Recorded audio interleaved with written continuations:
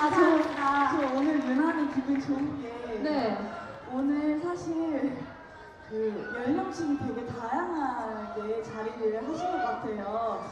우리 어머님, 아버님들도 계시고, 우리 언니, 오빠들도 계시고, 또 우리 어린 친구들도 같이 있어서 어린이들 소리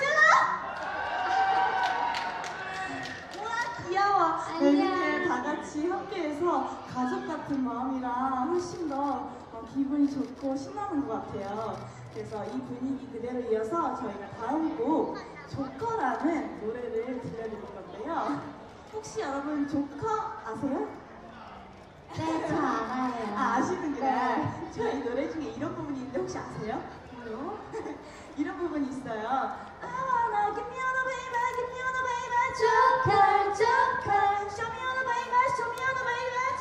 조커.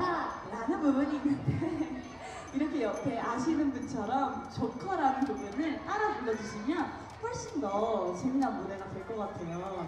우리 어머님 아버님들은 그 조코 아따 조코만 할때 조코 이거 따라 불러주신다고 생각하고 저희는 다음 곡 조커 들려드리도록 하겠습니다.